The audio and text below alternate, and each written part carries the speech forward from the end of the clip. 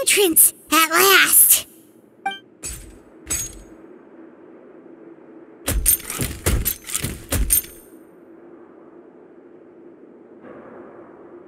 Oh, those chambers couldn't hold you, I see. What a surprise.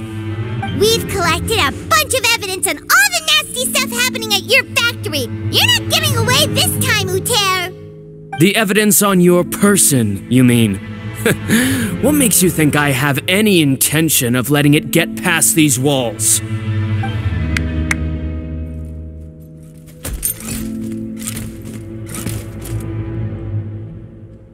More mechanical guards? Really? Ever thought about using these funds for a legitimate purpose? Oh, but this is a legitimate purpose. What? Destroying Chioriya Boutique? Or continuing to make your rotten rags? Proving that fashion is merely a laughable farce, a carnival of ignorance. You know what your problem is, Uther? You've become so obsessed with the concept of fashion itself that you let it paralyze you. Stop trying to cater to it. Focus on your own work, and you get to decide what fashion means. Spare me the lecture, why don't you? Sooner or later, you'll cater to all the voices too, you know. After all, what is fashion but another form of public opinion? Fashion is about aspiring towards a certain ideal, but it's up to you to decide what it is. My brand caters to no one but myself and my vision. That's my ideal, and it's not going to change. Well, once the people witness their former darling's spectacular fall, they'll understand how laughable that ideal truly is. That's what you've been trying to prove all this time? Your jaded understanding of the industry is the reason you've had it out for my brand for so long? You weren't like this before, Uther. What happened to the man who wanted to make something that would bring the entire world to its knees? He realized long ago how utterly naive and ridiculous that dream was. You gave up on your dream, but that wasn't enough, was it? You had to find a way to prove to yourself that it could never have been possible at all. You think you understand, but you're just a bitter man who let his regrets dictate his choices. You regret giving up on your dream. So you stopped at nothing to prove to yourself that it wasn't the wrong choice. This whole thing, Uther. It's pathetic. Pathetic. Why don't you take a look in the mirror? You're a fool daydreaming about taking all of Teyvat by storm. Well, good luck doing that when even Fontaine doesn't have a place for you anymore. You're right. Maybe all those who pursue their dreams are fools. But more pitiful still are cowards who are too afraid to even attempt what the fool is brave enough to try. You. Yeah, just leave this guy to us. No, you go instead. But he has a gun. It'll be fine. Just go to the venue and tell everyone to proceed with the plan. I'll deal with him. Some lessons are best delivered in person. Catch up with us soon. Trying to leave, are we?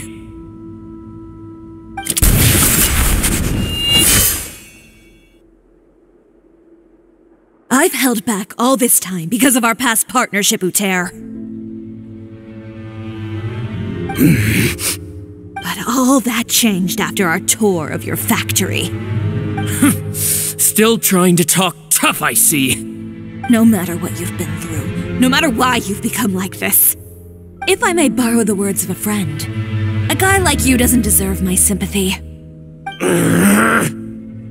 Allow me to show you the true meaning of the Chioriya brand. The Chioriya brand represents more than a person or a trademark. It's a way of life. Greetings, friends at Fontaine Fashion Week. Please feast your eyes on the extravaganza that Chioriya Boutique has prepared for you today.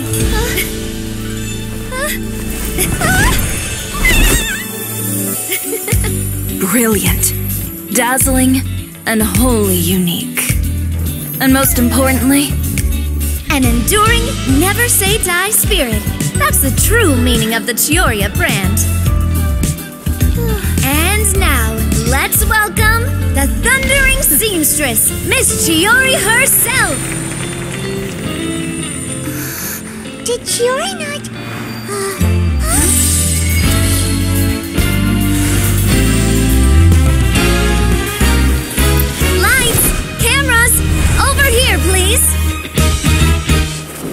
The show begin.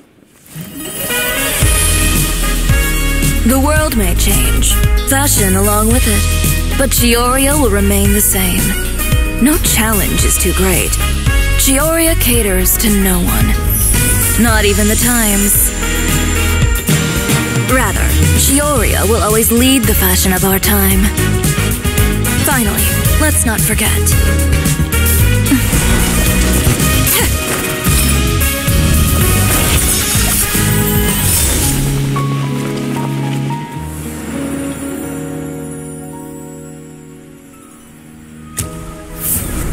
Only those who do not give up on their dreams are worthy of this brand.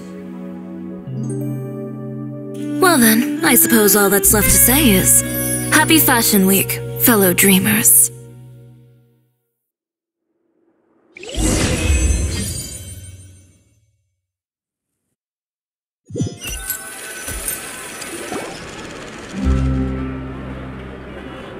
Uh, how about this? A little more to the left. Like this? Hmm. Perfect. Phew. Oh, that looks great! Miss Chiori, can I take a picture? Of course. I didn't know you'd make a brand new signboard. I made it before Fashion Week. I figured it'd be best to put it up after the success of the show. Well, how can you become renowned through all of Teyvat without a fancy signboard of your own? The Spina's way ahead of you in that regard. Now that you mention it, perhaps our magic troupe could use one of those. Hmm. Our signatures are the Grin Malkin cat and the Boggle Cat box. Oh, and we need to add Pear as well. Pear would need an alias, of course. Hmm, how about. The Hangry Bird.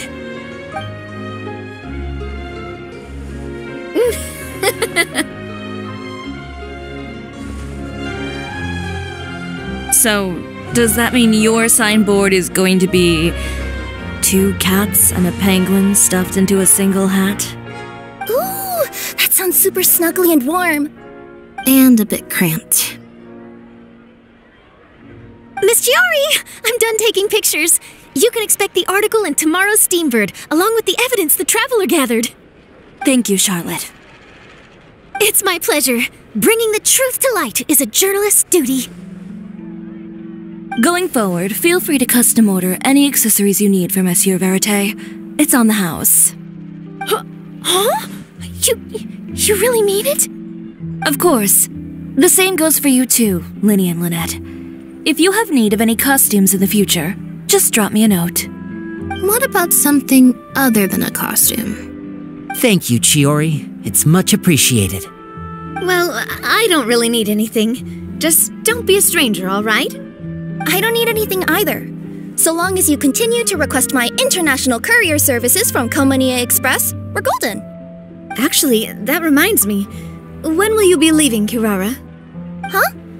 Um, about that. The Spina di Rosula has prepared a special vehicle for you, so you can just get in and we'll push it all the way out of Fontaine. What? No, that's so embarrassing. Ooh, do we get something nice too, Chiori? Of course. Just hold on a second. Disrupting public order at the show, appropriating venue lighting equipment without authorization, using weaponry in public, hosting a dangerous performance without notifying the authorities. Um, Chevreuse, we can explain! If you come across anyone who matches those descriptions, please report them to the Special Patrol at your earliest convenience. Enjoyed that, didn't you? You nearly scared me half to death. Says the one who pulled that stunt earlier. How about you do me a favor and tell me in advance next time you're planning something like that?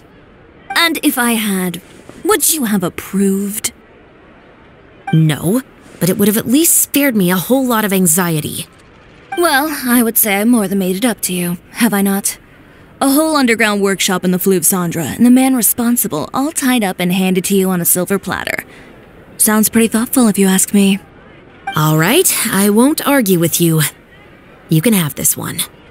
Well, friends, I would say we've earned ourselves a nice meal for our efforts. Let's go. Spina's treat. I'll have to take a rain check. I've still got a lot of paperwork to take care of, so you all go have fun. Oh, by the way, Chiori, I ran into Vanger on the way here. He had a message for you. I don't need to hear it. I'm sure the old fool used pretty much every apology in the book. I'll just visit him some other day and give him a hard time about everything. You know him well. Thanks again, Chevreuse. My pleasure. Oh, and one last thing. That was really quite an amazing show. You don't say. All right, all right. Uh, follow me if you want in on the celebration feast. Come on, we're leaving. Traveler, Paimon, could you go wait for me at that place with the view? I'll let Navia know that we'll be a little late. There's something I'd like to give you. A place with a view? Oh, Paimon knows where you mean. Sure, no problem. Perfect. I'll be right there.